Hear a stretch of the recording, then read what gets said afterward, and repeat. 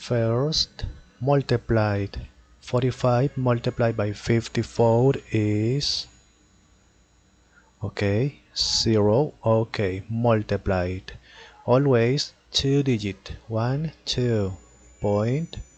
After the point eliminate 0 from the last. Okay. Finish.